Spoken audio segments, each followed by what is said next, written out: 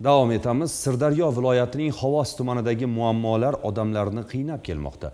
Ularning dardini eshitadigan va ushbu muammolariga chora topadiganlar esa negadir jim. Ayniqsa tuman markazidagi tinchlik mahallasidagi holat achinarli.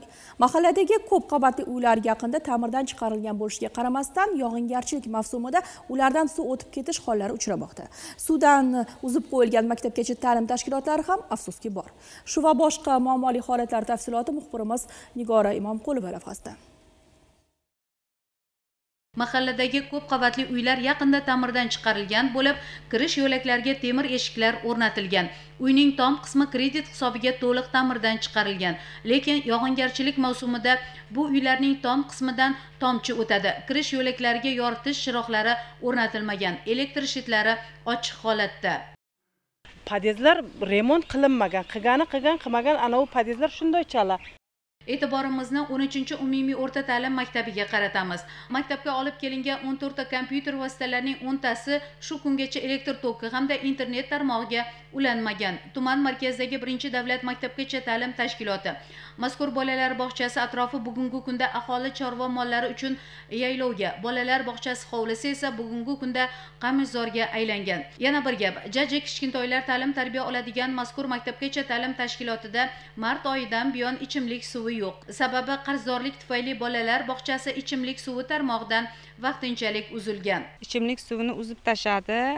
Sababi bo'lim tomonidan pul o'tkazmadi shuning uchun hozir har kuni qorovullarimiz suv ichimlik suvini tashib beradilar. Muammolarimiz haftada bir marta kelib nima kanalizatsiyadan suv tortib ketyapti moshina katta moshina chaqiryapmiz suv to'lib qolyaptida. Eng achinarli holat mazkur bolalar bog'chasi omborxonasida saqlanayotgan kartoshka piyoz karam sifati umuman talabga javob bermaydi. Xususan karam sabzi kabi qishloq xo'jaligi mahsulotlari chirib o'z sifatini yo'qotgan. 215 nafar kichkintoylar tarbiyalanadigan ikkinchi sonli davlat maktabgacha ta'lim tashkilotining yangi binosi 2019 yilda foydalanishga topshirilgan ammo bog'chaning eski binosida ham bugungi kunda foydalanib kelinmoqda.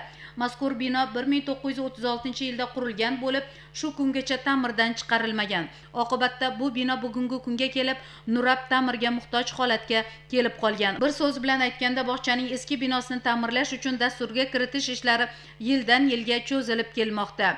O'rganishlarimizni sharqobod mahallasida davom ettiramiz. Mahallada ichki yo'llar ta'miri sim ustunlarga tungi yoritgich chiroqlarni o'rnatish bilan bog'liq bir qator muammolar bor. Birinchidan mana yo'l masalasi ichki yo'llar tosh to'shash kerak.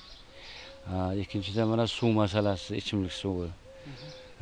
Keyin mana tomorqalarni sug'orish uchun bizda oxir suv yo'q.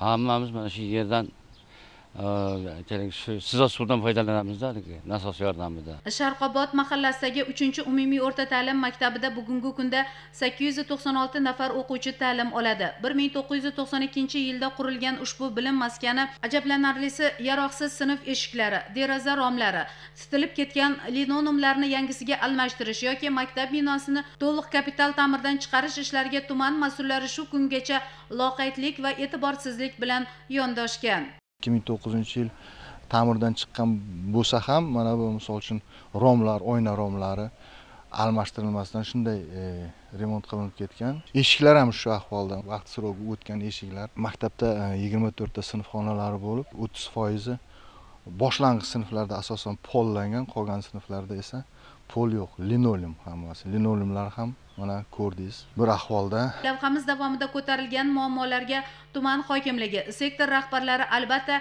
e'tibor qaratadi degan umiddamiz. Nigora imomqulova xo'jakeldi safarov sirdaryo yoshlar.